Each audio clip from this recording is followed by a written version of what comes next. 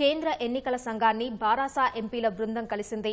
Assembly ఎన్నికల్లో car గుర్తున పోలిన గుర్తులు వేరే వారికి కేటాయించవద్దని ఈసీకి విజ్ఞప్తి చేశారు.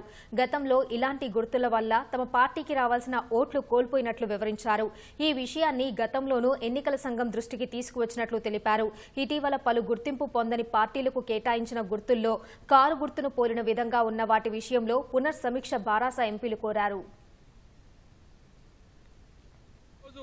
భారత రాష్ట్ర సమితికి సంబంధించినటువంటి ఈ రెండు సమస్యల మీద మా యొక్క విజ్ఞప్తి పత్రాన్ని కేంద్ర ఎన్నికల సంఘానికి సవివరంగా వివరించి మేము సబ్మిట్ చేయడం జరిగింది.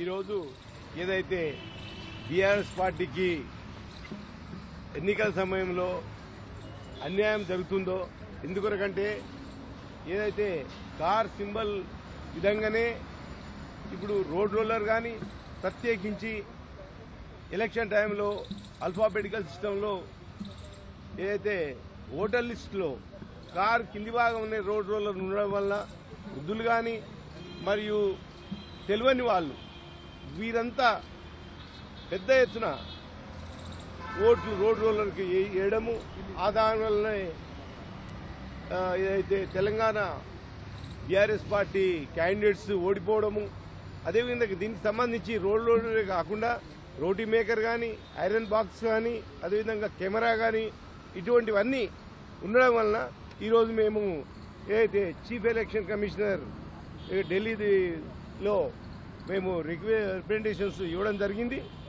అది వాటి గురించి కులంకషంగా మాతోటి మాట్లాడి వాళ్ళు మాకు తగిన న్యాయం చేస్తామని ఒప్పుకున్నారు. ఎందుకొరకంటే ఈ సింబల్స్ వలన ఏదైతే మా గౌరవ ముఖ్యమంత్రి గారి యొక్క పరిపాలన విధానం చూసి ఏదైతే పబ్లిక్ ఏదైతే క్రేజీ ఏదైతే బీఆర్ఎస్ బ్రాండ్ అనేది బాగా తెలంగాణలో ఉన్నది వాటిని చీల్చడం కొరకే ఈ బ్రాండ్స్ అన్నింటినీ ఈ డూప్లికేట్స్ ఇవన్నీ ఏదైతే సేమ్ కార్ విధంగా ఉండడము రోడ్ రోలర్ కానీ అదేవిధంగా ఈ రోటీ మేకర్ కానీ ఐరన్ బాక్స్ కానీ అదేవిధంగా కెమెరా కానీ వీటన్నిటిని పోల్చి చాలా పెద్ద నష్టం జరుగుతున్న సందర్భంగా ఈరోజు మేము ఎలక్షన్ కమిషనర్కు ఇవ్వడం జరిగింది.